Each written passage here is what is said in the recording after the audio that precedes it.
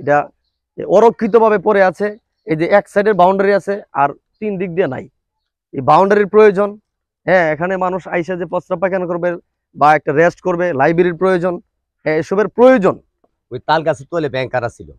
ওই ব্যাংকার থেকে উনি ওইখানে আমাদের পাঞ্জাবের সাথে লড়াই করতো। ওইখান থেকে গুলি পড়ছে পরে তাই উনি ওখানে মারা গেছে। মারা যাওয়ার পর তখন ওইখানে দুর্গন্ধ করব থেকে লাশগুলা, তুই একটা লাশ আইনা সেটা এই জায়গার মধ্যে আপনার খাতাইছে। আমরা ইতোমধ্যেই এই বিষয়ে সরকারের দৃষ্টি আকর্ষণের জন্য, এটা জেলা প্রশাসক সম্মেলনের কার্যবিবরণীভুক্ত করার জন্য পাঠিয়েছি।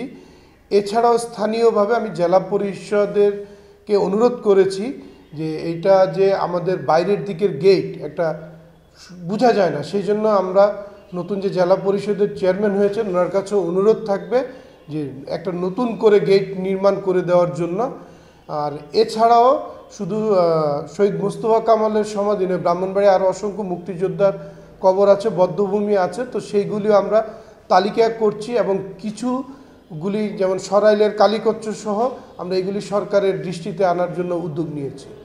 আর কিছু আমি এটা বাবা চামড়া ইয়ে করেও আমি এটা করিটা দিই না, আমার শরীরে তো দুঃখ পাইতো না।